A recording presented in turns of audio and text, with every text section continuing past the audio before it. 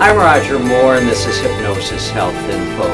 You know, one of the things that, that I love about spin class, about going to the gym early in the morning, is sometimes it's a time just to be silent and to be quiet, and, and other times it's a time for me to be thinking about client sessions and new ideas. And, and this morning in spin class, I, I was particularly thinking about a client that I saw yesterday. It was a woman that uh, has quite a bit of, of, weight to let go of, and and this was her second session, and she was down two pounds between her first last week from her first session to this session, and and which is really great. Two pounds is a good, healthy, average way to to let go of the weight. It's safe and it's healthy, and but she was struggling.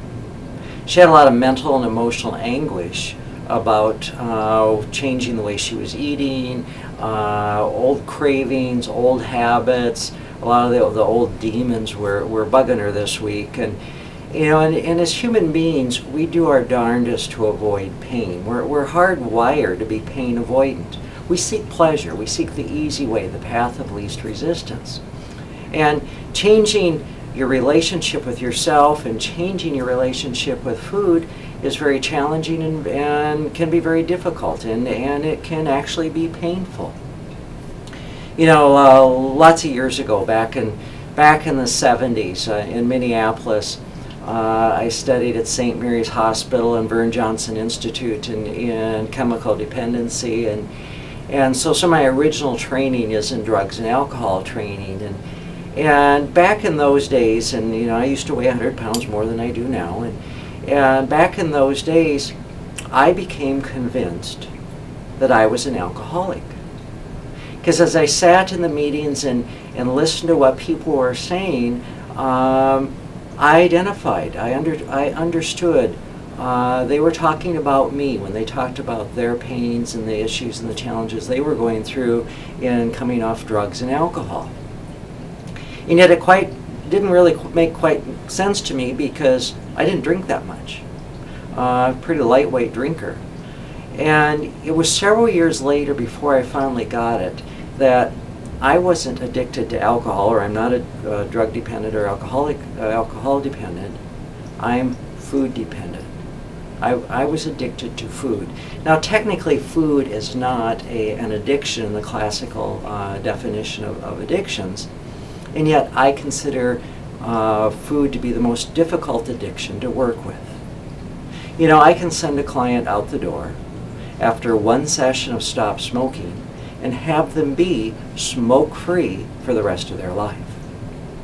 But for those of us with food issues, we don't have that luxury of never eating again. If it was as simple as never eating again, weight loss really wouldn't be all that big of a deal.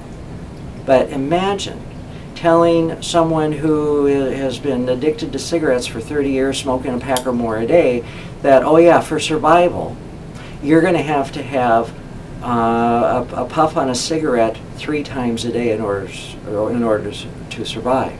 Or imagine telling an alcoholic that in order to survive, they're going to have to have uh, a sip of wine or a shot of alcohol or a drink of beer three times a day. Wouldn't be long before the cigarette smoker would be back to their pack a day and the alcoholic would be uh, out of control again. That's the challenge, or one of the challenges that that those of us who, who've dealt with food, with weight loss, with obesity, have had to struggle and, and learn how to overcome, is our bodies demand that we eat. We have to eat.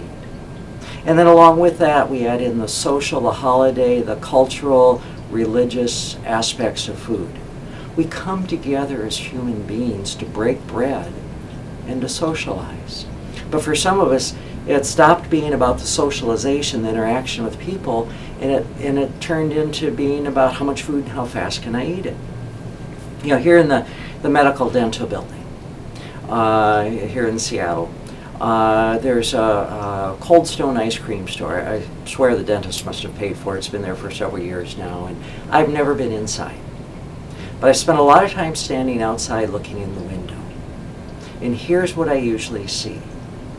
I'll see slender people sitting around a table with a small cup of ice cream and maybe one scoop, and they all have spoons, not in the ice cream, but in their hand, and they're totally looking to, into each other's eyes, and they're totally engaged in conversation, and the ice cream looks like it's kind of melting. And then I see overweight people, often by themselves, or if they are with somebody, instead of facing each other, they're sitting side by side looking out the window, and there's little to no conversation going on between them.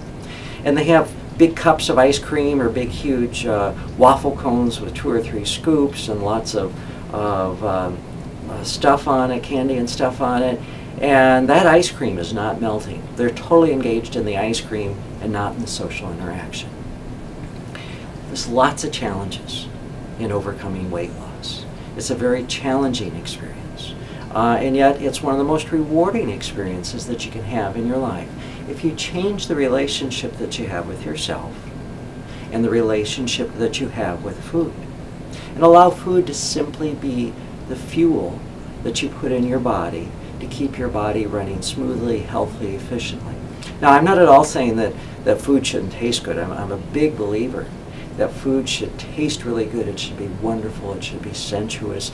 It should be a very delightful experience to sit and eat a meal. But the problem is that for most people who are overweight, and it was certainly true for myself, we never tasted our food.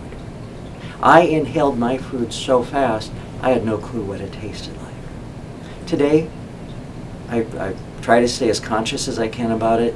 I eat very slowly. I eat very consciously. I chew my food, I savor the flavors, the tastes, the textures, the aromas, and I make it a very pleasurable and very sensual experience. And by doing so, I eat less. I feel totally satisfied, feel totally content, and I can easily maintain my, my healthy, ideal weight. Now, in my book, Becoming Slender for Life, there's lots of tools, uh, lots of resources to support you in obtaining your ideal weight and, most importantly, remaining slender for the rest of your life, because that's really what it's all about. So, please uh, look around here at Hypnosis Health Info. Check out the various resources that are here, the self-hypnosis, the weight loss tools, the stress reduction tools, lots of free information here check my daily blog posts. Every day there's your hypnosis uh, health info suggestion for the day to support you and getting your day started out correctly and support you through the day in, in your journey. Call me, email me, ask questions. Uh, if you're outside of the Seattle area or not near my Bainbridge office, then uh, call me or send me an email and uh, we can work together over the internet doing uh, health coaching that way. So let me know how to support you. I'm Roger Moore, and this is Hypnosis Health Info.